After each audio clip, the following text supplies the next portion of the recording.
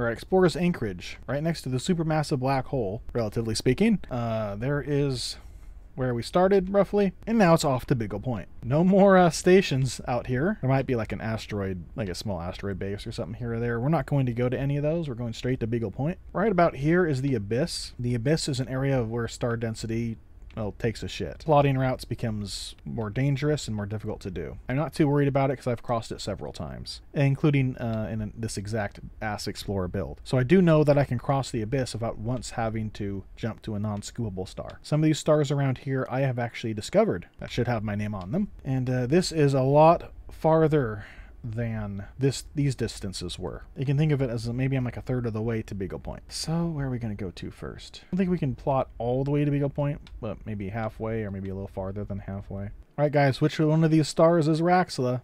Point it out. Pick it out for me. 18,000 light years. That's. I think we can plot as far as 20,000, but it still should push this plot. Nope. Nope. Hey. 18,000 is just a little too much. So let's cut it back a bit.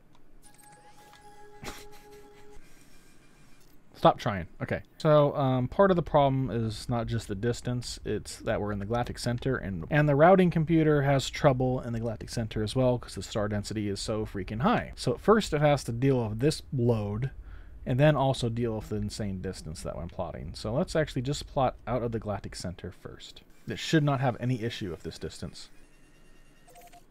Well, he better not be. There we go. Let's auto launch. Yep, as I suspected, we're right up the slot's ass here, so I'm glad we auto launched. Let's hope the routing computer retained the uh, filters that I asked it to retain. Well, this is awkward. Where the hell's the planet? Oh, there. We're going 150 jumps, about 5,000 light years. Just getting out of this extreme star density region. Here's our first jump to Beagle Point out of Explorer's Anchorage, guys. We have many, many, many, many more to go. It's a jump for every original Pokemon minus Mew, guys, to get us out of this galactic center. Yeehaw. I just dropped out right there between these two stars. Not only that, I went through one star and ended out between them, facing the other one. I just pulled up, fuel scooped as normal, and rose away.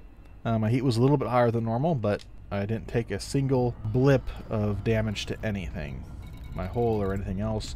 My heat never even went to 100%. Here we are, we're jumping to the um, A-class star, I think. Yep, 13 light years away we must be. Look at that bright boy.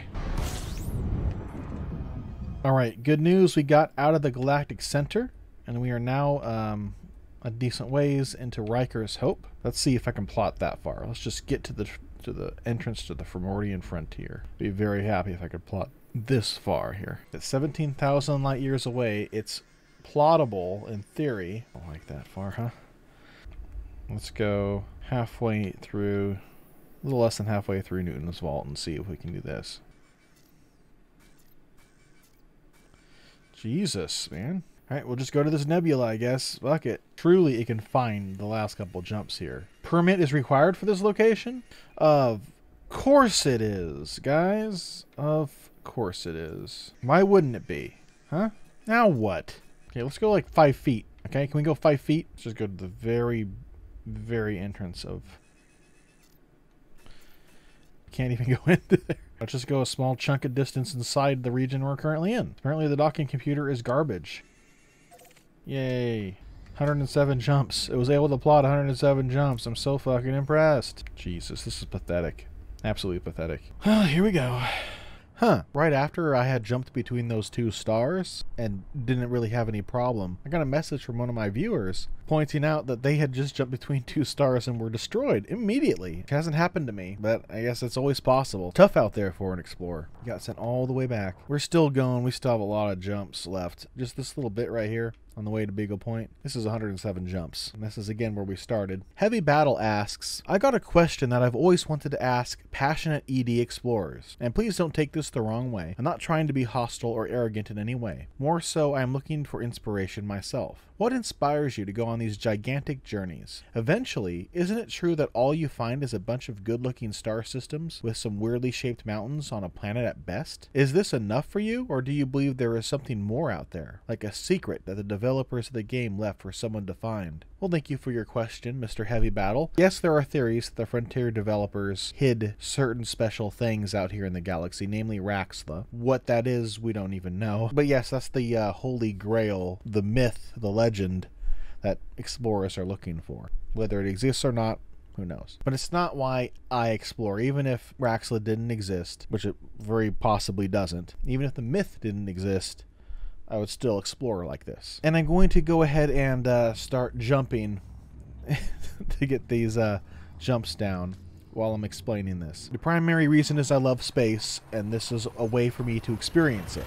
The secondary reason is because of all, well, I mean, look at my videos on my channel. All the crazy crap I end up doing. Elite Dangerous is a goal setting game. It's not one where an objective pops up on your screen and you follow it. You make your own goals, your own objectives, your own adventures. It's a sandbox kind of deal. And some people like that and get that, and some people don't. I found a good way to explain it to people by comparing it to speedrunning. Speedrunning in video games used to be an uncommon entity, but in recent years it's gained a lot of attention and popularity due to things such as Twitch and YouTube. Speedrunning is the art of completing a game or a challenge within a game as quickly as possible, and it takes an insane amount of skill and luck which equates to a large amount of time investment and tedium. And one could ask, why do you do that? Just to see the number at the end of the screen that was a little bit lower than it was before? Is that really worth the months you invested? I feel like that's a very comparable question to why explorers explore so far in Elite Dangerous. Why go to Beagle Point 65,000-ish light years away? It's not just about the video game glory and internet points. It's the very process of challenging and pushing yourself. In speedrunning, you can gauge yourself by watching your best time drop lower and lower. In Elite Dangerous, you watch yourself progress across the scale replica of the galaxy galaxy. Look how far we've made it already.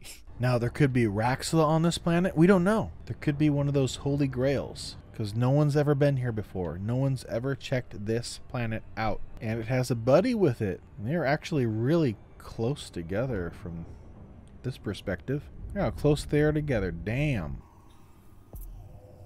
So there's something on here called stratum. I don't even know what the hell that is. Let's go find out what the hell stratum is. So we already found life, technically. We found bacteria and stratum. We're the first to discover this place, we're the first to map it, and now we're going to be the first to walk on it. Alright, Raxxla, where the hell are you? Whatever the hell stratum is, I'm not seeing any of it. Oh, wait, what's that? What the hell is that? There we go. I'm gonna go out my SRV first. Is there some of this crap right here? Stratum tectonite. First footfall.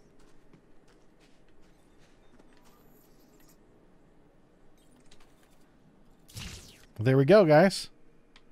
Adventure.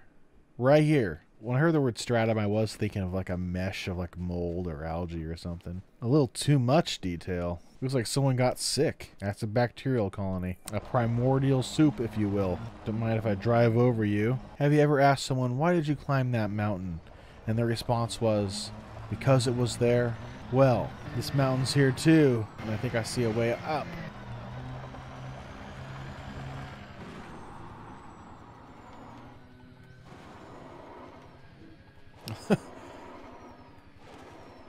I wasn't really climbing a mountain as much as it was flying up one, but there we go. You can see more bacteria colonies over there. Oh, Jesus. I almost went right off the edge. Uh-oh. Uh-oh. No, no, no. There's my ship down there. All right, we climbed the mountain, guys. Well, drove slash flew up the mountain, but...